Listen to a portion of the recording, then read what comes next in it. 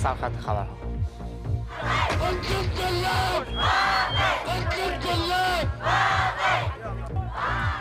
ادامه اعتراض های ضد دولتی در عراق به رغم استعفای عادل عبدالمهدی احزاب سیاسی برای تعیین نخست وزیر جدید رایزنی می کنند.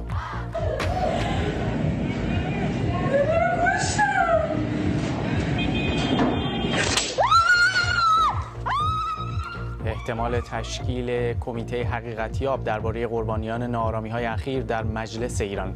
یک نماینده می‌گوید اگر مقام ها آمار رسمی ندهند ارقام گزارش های مردمی اعلام خواهد شد. هزاران طرفدار عبدالله عبدالله در خیابانهای شمال افغانستان. معترضان می‌گویند تا جدا شدن آرای پاک از تقلبی به تظاهرات ادامه می‌دهند.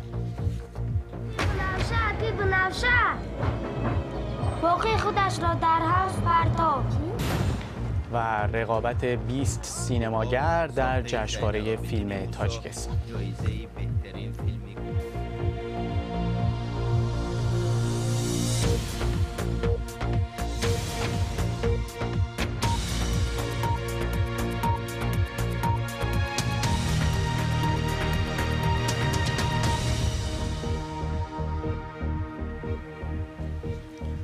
سلام از بخیر خوش اومدید به یک بخش خبری زنده دیگه از تلویزیون فارسی بی بی سی احزاب رقیب در عراق سرگرم رایزنی برای انتخاب نخست وزیر جدیدند. یک روز بعد از آنکه مجلس استعفای عادل عبدالمهدی را پذیرفت. اما کنارگیری او به ناآرامی ها پایان نداده. ناآرامی هایی که طی دو ماه گذشته جان حدود 400 نفر از معترضان را گرفته. نخست وزیر جدید که باید توسط رئیس جمهوری معرفی شود باید مورد تایید احزاب و فراکسیون های سیاسی کشور باشد.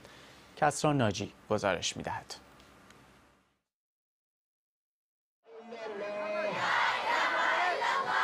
امروز در بصره نوبت زنان بود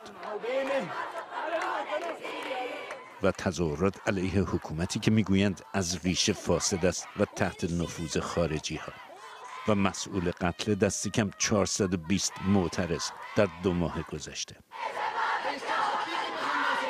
اینجا شعار عادل عبدالمهدی تک تیراندازانت کجایند.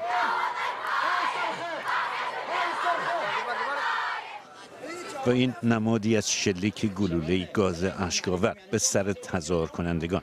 چیزی که چند ویدیوی آن در شبکه های اجتماعی دست به دست می شود و کشور را تکان داده است. استعفای دیروز او در پارلمان هم نتوانسته این معترضان را آرام کند.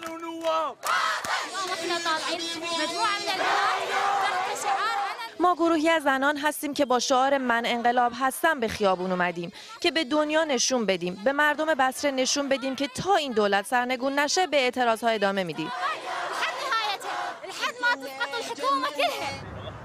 مجلس عراق دیروز با استعفای عادل عبدالمهدی توافق کرد. کسی که تنها کمی بیش از یک سال نخست وزیر بود.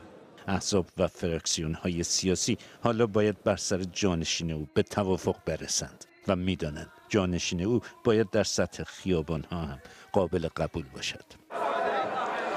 آیت الله سیستانی بزرگترین مرجع تقلید شیعیان عراق از طریق نمایندهش خواستار کنار رفتن نخست وزیر شده بود. او از مجلس خواسته است به قول او به نفع عراق دولت جدیدی انتخاب کند.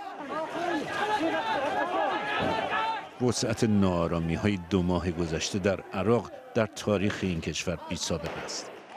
معترضان از جمله به دخالت های خارجی به خصوص دخالت های ایران و گروه های مسلح تحت فرمانش از جمله در هشت شعبی اعتراض دارند. هشت شعبی اما امروز این ویدیو رو منتشر کرده و می‌گوید زد خورد دیشب را نشان می‌داد بین افرادان و نیروهای داعش. هشت شعبی می‌گوید این زد و خوردها با داعش در نزدیکی خانقین در ده کیلومتری مرز ایران صورت گرفته و اشاره می کند که نارامی ها در عراق می تواند داعش را دوباره به تهدیدی بزرگ تبدیل کند. اما اعتراض ها ادامه داشته. حتی در موسل بزرگترین شهری که به دست داعش افتاده بود. این دانشجویان در این شهر و اعتراض به کشتارهای معترضان در باقی کشور. استعفای دولت که حالا به طور موقت امور را به دست دارد بحران را عمیق تر کرده است. کسر نجی بی بی سی. بحث بیشتر در مورد این مسئله علی صدزاده تحلیلگر مسائل خاورمیانه از فرانکفورت آلمان به ما پیوسته. آقای صدزاده در گزارش کسرا هم دیدیم که این معترضان میگن که خواهان سرنگونی دولت هستند. آقای عبدالمهدی استعفا داده الان اما معترضان به نظر نمی‌رسه که این براشون کافی باشه. اونا همچنان در خیابان ها. همچنان در خیابان هاست و جالب اینجا که امروز استانهای سنی نشین هم به این مسئله پیوستن. به این تظاهرات در الانبار همطور شما گفتید در موسل در صلاح الدین و اشایر نجف هم اعلامیه صادر کردن علیه به اصطلاح کشتاری که در نجف انجام گرفته و بعد اشایر استان زیغار یعنی همونجا که ناصریه بود و در پنجشنبه گذشته چهل نفر کشته شدن و این کشتار در ناصریه ظاهرا بیش از همه اتفاقات دیگه از به اصطلاح ناراحتی ها را افزایش داده و به خصوص اینکه کشتار این چهل نفر در ناصریه تا حدودی به نیروهای طرفدار ایران وصل میشه و این همین باعث شده که در مجموعه عراق مسئله ایران تبدیل به یک مسئله بزرگی اصولا گروه های حامی ایران در عراق کجای این معادله وایستادن؟ گروه های مثل گروهی که مقتدا صدر مثلا در عراق داره و گروه های شیعه دیگر. مقتدا صدر اونجوری رابطه تنگاتنگی با ایران نداره و اینکه مواضع دوگانه‌ای داره. اون که مهمه به اصطلاح فرکسیون الفت هست که در پارلمان عراق هست در آمری که در جنگ با داعش هم شرکت داشت ابو مهندس. و ما یه تعدادی از هشت و شعبیه هایی داریم که اینا به اصطلاح گروه های متفاوتی هستند ولی جدا از هم هستند ولی همشون در نزدیکی به ایران شهرت دارن فرکسیون دارن در مجلس و کم یا بیش نظرهای ایران رو در مورد تظاهرات مطرح می‌کنن و همونطور که می‌دونید ایران به شدت مخالف این تظاهرات هست آقای امیر عبداللهیان که به اصطلاح متخصص امور کشورهای عرب در وزارت خارجه سابق سابقا بود و حالا مشاور آقای لاریجانیه سراحتا صحبت از این می‌کنه که این متظاهرین این تظاهر کنندگان داعشی هستند. امروز هم همطور که شما در گزارشتون گفتید تصادفی نیست که پشت و شعبی یک ویدیویی گذاشته که ما داریم با داعش می جنگیم و روزنامه کیهان هم می نویسد که بایستی با این تظاهر کنندگان همون برخورد رو کرد که با به اصطلاح داعش کردیم. بنابراین برای تظاهر کنندگان عراقی که ترسیم میشه این مواضع و فراموش نکنیم این مواضع به صورت وسیع تکثیر میشه در وسایل ارتباط جمعی عراق. اینها باعث میشه که به اصطلاح نارا... به ناراحتی این تظاهر کنندگان دامن بزن ممنون از وقتتون آقای سزاده علی سزاده تحلیلگر مسائل خاورمیانه از فرانکفورت. معاون سیاسی وزیر خارجه ایران می‌گوید برجام یک توافق سیاسی برد برد بود که از طریق یک توافق سازنده بین المللی به دست آمد. عباس عراقچی پیش از سفر به توکیو دیروز در پکن هم در نشست مشورتی ایران و چین درباره برجام شرکت کرد. همزمان وزیر امور خارجه عمان با همتای ایرانیش در تهران دیدار کرده. این سومین بار در نه ماه گذشته است که یوسف بن علوی به تهران سفر می کند. رسانه های دولتی ایران می‌گویند به نظر می رسد که گفتگوهای او و محمد جواد ظریف از جمله درباره تحولات منطقه و طرح صلح هرمز باشد که ایران برای تامین امنیت منطقه خلیج فارس پیشنهاد کرده. گروهی از کارشناسان اقتصادی ایران با نوشتن نامه‌ای به حسن روحانی رئیس جمهوری خواهان انتشار اسامی کارشناسان موافق شوک بنزینی و اسناد کارشناسی مرتبط با آن شدند. نویسندگان این نامه تاکید کردند که صرف نظر از ضرورت هدفمندی یارانه ها با نحوه اجرای طرح افزایش قیمت بنزین مخالفند. آنها آمادگی خود را برای مناظره با کارشناسان دولت اعلام کردند. تصمیم سران سقوه حکومت برای سه برابر کردن قیمت بنزین آزاد و افزایش 50 درصدی قیمت بنزین سهمی موجی از های خونین در سراسر ایران به راه انداخت. سفارت ایران در لندن اتهام تهدید روزنامه‌نگاران ایرانی توسط سفیر را رد کرده این سفارت توییت کرده که حمید بعیدی نژاد هیچگاه کسی را تهدید نکرده چه رسد به خبرنگاران سازمان گزارشگران بدون مرز اخیرا آقای وحیدی نژاد را سفیر تهدید نامیده و گفته بود که او تهدیدهای تهدید نهادهای امنیتی ایران علیه روزنامه‌نگاران را تکرار می‌کند و دولت بریتانیا باید به این موضوع رسیدگی کند. گزارشگران بدون مرز به تهدید کارکنان و خانواده‌های کارکنان بی بی سی فارسی، رادیو فردا، صدای آمریکا، من ایران اینترنشنال و کیهان لندن اشاره کرده بود. رئیس مرکز اطلاع رسانی وزارت بهداشت ایران شمار قربانیان آنفلانزا راش 56 نفر اعلام کرد. به گفته کیانوش جهانپور 19 نفر از آنان هفته گذشته جان خود را از دست دادند. او همچنین گفته بیشترین موارد مرگ, مرگ ناشی از آنفلانزا در استانهای کرمان، گلستان، مازندران، خوزستان و کوهگیلویه و بوی رحمت بوده. گزارش شده که همایون خسروی ده کردی مدیر مسئول ماهنامه سینما و ادبیات هم به علت ابتلا به آنفلانزا درگذشته.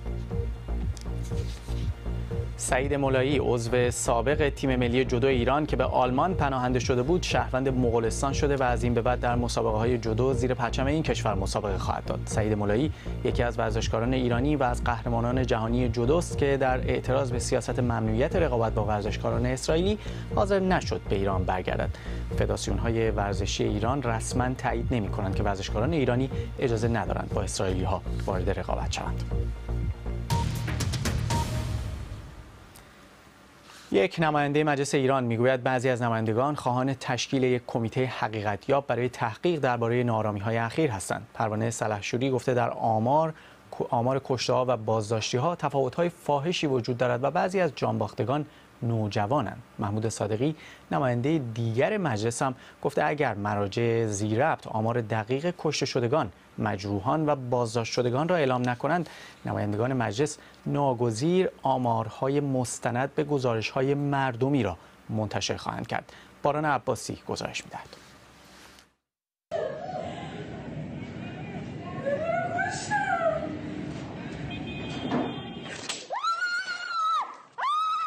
حمله یکی از نیروهای امنیتی با سنگ به زنی که در حال فیلم برداری است. تازه ترین تصاویری که از اعتراض های اخیر منتشر شده. و این تصاویری دلخراش از زنی که بر زمین افتاده و صورتش از خون پوشیده است. تصاویری که در حالت عادی قابل پخش نیستند. با گذشته بیش از دو هفته از شروع اعتراض ها هنوز آمار رسمی از شمار قربانیان و بازداشت شدگان منتشر نشده. آمارهای غیر رسمی از دست کم 161 تا بیش از 360 کشته و هزاران بازداشتی حکایت دارد. پروانه سلحشوری نماینده تهران در مجلس به خبرگزاری اینلا گفته بعضی از قانونگذاران خواهان تشکیل یک کمیته حقیقتیابند تا ابعاد ماجرا روشن شود. اخبار جسته گریخته از جاهای متفاوت به دست ما می‌رسد که تفاوت آماری فاحشی دارد مشاهده می‌کنیم بین جانباختگان نوجوانان هستند که بسیار تأسف آور است کمیسیون ویژه باید با قید سه فوریت به مجلس بیاید و سریع شروع به کار کند. باید در اسرع وقت اعضایش مشخص شود تا ما بتوانیم در چند ماه باقی مانده در مجلس دهم نتایجی را به دست بیاوریم و گزارش دهیم. با شروع اعتراضا دانشجویان در بعضی از شهرها هم به معترضان پیوستند. این تصاویر از دانشگاه تبریز است. تجمعاتی در شهرهای دیگر هم برگزار شد و گروهی از دانشجویان هم بازداشت شدند. اما محمود صادقی نماینده مجلس گفته بعضی از دانشجویان بازداشت شده در اعتراضات شرکت نداشتند و در اقدامی که او پیشگیرانه خوانده دستگیر شدند. باید بازداشت دانشجویانی که در تجمعات حضور نداشتند اما برای جلوگیری از اقدامات پیشگیرانه دستگیر شدند مورد بررسی قرار گیرد. این کار به هیچ عنوان محل قانونی ندارد و باید مشخص شود که چرا صورت گرفته است. زنی که بالای این خودرو رفته و سعی می کند احساسات حاضرین را تحریک کند چه این گزارشی است در تلویزیون دولتی ایران از آنچه اعتراف یکی از بازداشت شدگان ناآرامی ها می رفتم اقدامی که حکومت پیش از این هم در موارد بسیاری برای بیاعتبار کردن معترضان به سیاستهایش استفاده کرده. و حتی از سوی بعضی از مقامهای فعلی جمهوری اسلامی اجباری و غیر قابل استناد خوانده شده. محمود صادقی هم در گفتگو با ایلنا از آن انتقاد کرده. وادار کردن افراد به اعترافات آن هم برای پخش از تلویزیون خلاف موازین قانونی است و در هیچ مورد پذیرفته نیست معمولا اشخاص اعترافاتی را که بر زمان میآورند در مراحل بعدی آنها را تکذیب می کنند.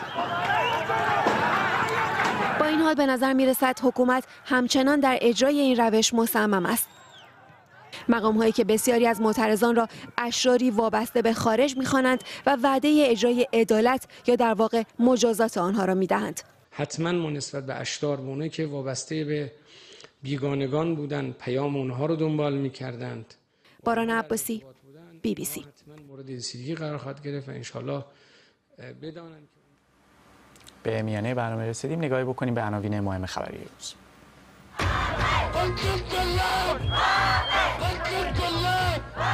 یک روز بعد از استعفای عادل عبدالمهدی احزاب رقیب در عراق سرگرم رایزنی برای انتخاب نخست وزیر جدیدند. کنارگیری او معترضان را آرام نکرده.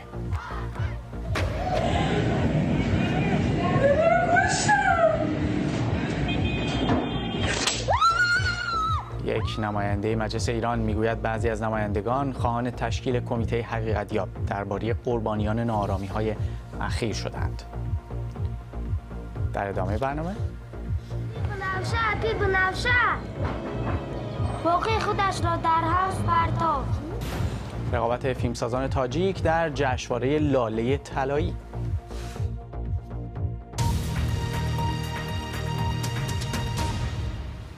امروز ولایت های تخار و فاریاب در شمال افغانستان شاهد اعتراض هزاران نفر از هواداران تیم انتخاباتی عبدالله عبدالله بودند. معترضان خواستار ابطال 300 هزار رأی جنجالی از سوی کمیسیون انتخابات شدند. در همین حال شورای نامزدهای انتخابات ریاست جمهوری افغانستان خواهان تشکیل یک دولت با سهم داشتن همه تیم های انتخاباتی شده. اگر ریاست جمهوری گفته نامزدها باید به تصمیم و جایگاهی که مردم برایشان انتخاب کردند احترام بگذارند. روی این رهنوش گذاشت این رقص شادی نیست. نارضایتی از کارکرد کمیسیون انتخابات پای اینها را به میدان کشیده. هواداران دسته انتخاباتی ثبات و همگرایی بر رهبری عبدالله عبدالله در ولایت تخار. تقاضایشان تفکیک آرای پاک از ناپاک.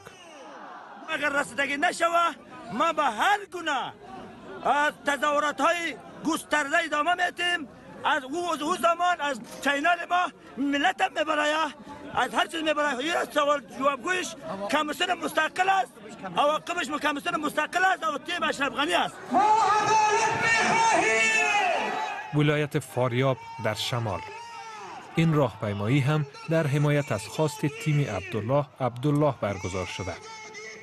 ابطال 300 هزار رأیی که می‌گویند ناپاک است. اینجا در کابل شورای نامزدان انتخابات ریاست جمهوری ساز دیگری می نوازد. طرح نظام مشارکت ملی انتخابات محور با حضور همه تیم های انتخاباتی.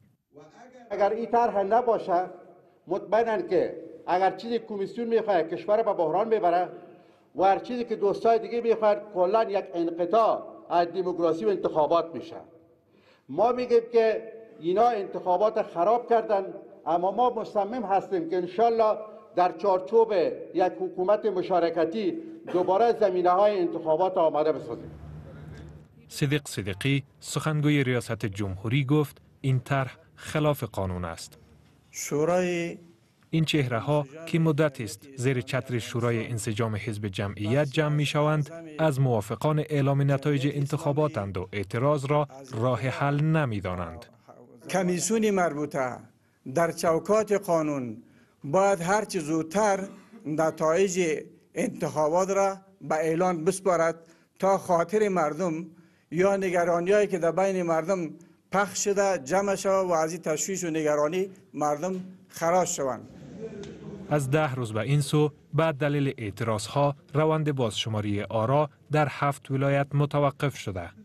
کمیسیون انتخابات پیش از این گفته بدون بازشماری هیچ رأی را باطل نخواهد کرد. روین رهنوش بی بی سی کابل. فرمانده نیروهای بین‌المللی در افغانستان همراه سرپرست وزارت دفاع این کشور به شمال افغانستان رفته و با عبدالرشید دوستم معاون ریاست جمهوری دیدار کرده. آقای دوستم از رهبران تیم انتخاباتی عبدالله عبدالله هست. گفته شده یکی از موضوعات بحث در این دیدار راه اندازی یک عملیات گسترده نظامی در شمال افغانستان علیه شورشیان طالبان است. علی حسینی همکارم از کابل به ما پیوسته. علی کمی بهمون بگو که راجع به این دیدار چه می‌دانیم؟ چه جزئیاتی در اختیارمون هست؟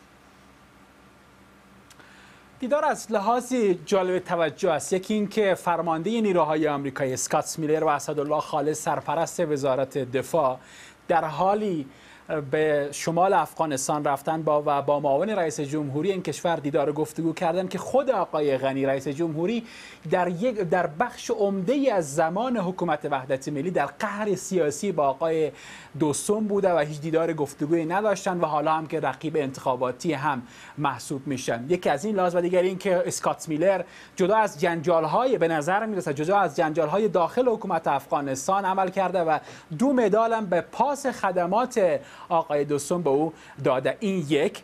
در نشستی که امروز سه ساعت جریان داشته در با موضوعات صلح و امنیت شمال افغانستان بحث شده و آنطور که گفته شده قرار است یک عملیات گسترده هم در شمال افغانستان عملی بشه به خاطر که شورشی شورشگر شورشیان در این مدت فعالیتشان بیشتر شده. این از این لحاظ از لحاظ از دو لحاظ دیگر هم در زمان حساسی سفر کردن. یکی اینکه جنجال های انتخاباتی افغانستان تقریبا میره به طرف یک بحران و بحران ها در افغانستان خیلی رابطه نزدیکی با مسائل امنیتی داره. انتخابات در گزارش روی این دیدیم جنجال ها زیاد شده و در شمال افغانستان تظاهرات های دیروز و امروز هم برگزار شده. این از نظر سیاسی. از نظر امنیتی هم شمال و شمال شرق افغانستان در بدترین وضعیت خود نسبت به سالهای قبل قرار داره و فعالیت های گروه طالبان شدت پیدا کرده. خود آقای دوسوم قبلا گفته بود که اگر حکومت دست به کار نشه مجبور است که خود آقای دوسوم نیروهای تحت امرش به خاطر امنیت تامین امنیت شمال افغانستان دست به کار شوند.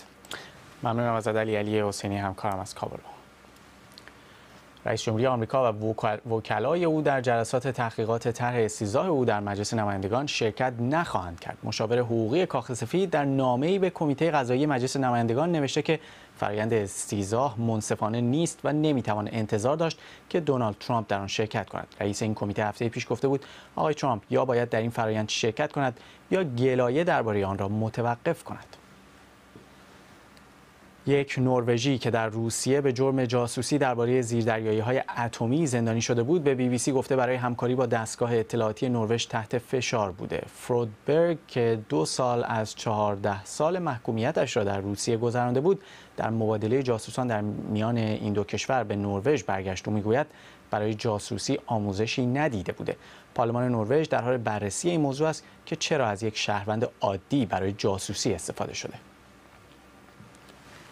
مراسم یادبود دو قربانی حمله مرگبار اخیر در پایتخت بریتانیا لندن در دو شهر لندن و کمبریج برگزار شد. در این حمله که با چاقو انجام شد دو نفر کشته و سه نفر زخمی شدند. پلیس عامل این حمله را فردی 28 ساله به نام عثمان خان معرفی کرد. در مراسم امروز نخست وزیر بریتانیا شهردار لندن و رهبر حزب کارگر حضور داشتند. اسامی برندگان جایزه ملی لاله طلایی در بخش سینما در تاجیکستان اعلام شد این جایزه رو مرکز فرهنگی باختر با همکاری سفارت فرانسه در تاجیکستان و استودیویی به نام تاجیک فام تأسیس کردند. هدف از این جایزه رشد سینمای ملی و تبلیغ فیلم های تاجیکی در خارج از تاجیکستان عنوان شده. سهراب زیا همکارمون از واشنگتن از دوشنبه گزارش میده. جایزه ملی لاله طلایی در بخش سینما به نخستین برندگانش در خانه سینمای شهری دوشنبه. اپی بنفشه اپی بنفشه باقی خودش را در حوز پرتاب دوغاب ساخته زین العابدین موسی جایزه بهترین فیلم کوتاه را گرفت. یگان جا همینه ننواختیم من نشنیدیم یگان انسامبل مستند عمر اکای دلیر امام علی جایزه بهترین فیلم مستند را صاحب شد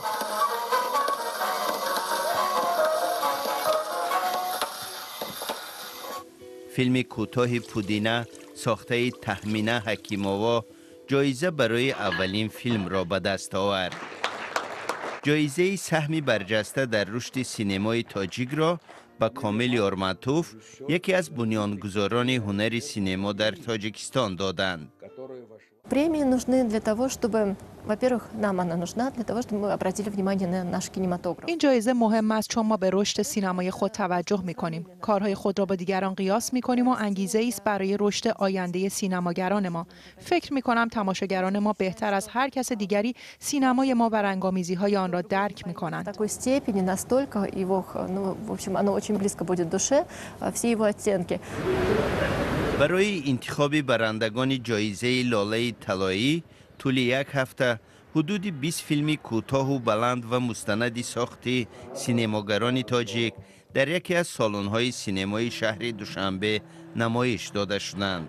هیئت داوران از فرانسه، قرقیزستان و تاجیکستان از میان این فیلم ها کارهای بهترین را برگزیدند.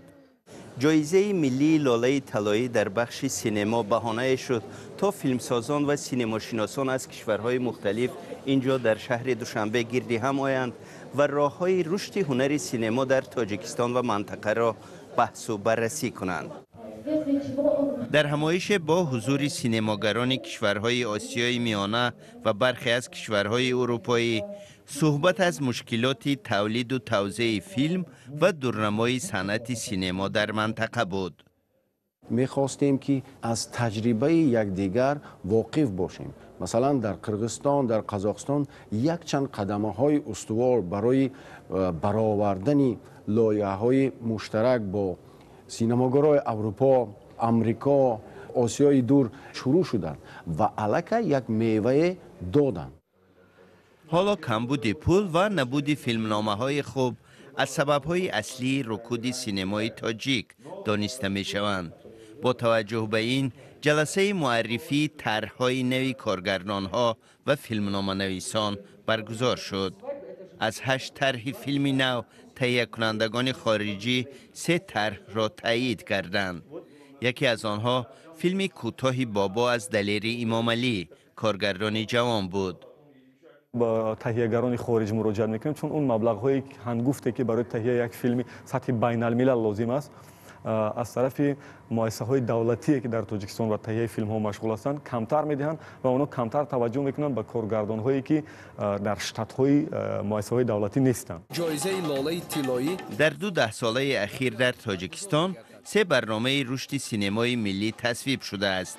اکنون یک گروه سینماگران جوان وارد عرصه فیلمسازی شدند که علا رغم مشکلات فیلم می سازند و تلاش دارند چراغ سینمای ملی را روشن نگاه دارند. مسئولان مرکز فرهنگی باختر امیدوارند دو سال یک بار آزمون فیلم های تاجیکی را برای دریافت جایزه ملی لاله طلایی برگزار خواهند کرد. سهراب زیا بی بی سی دوشنبه ممنون از همراهیتون با این بخش خبری. تا دقایق دیگه با خلاصه خبر باشم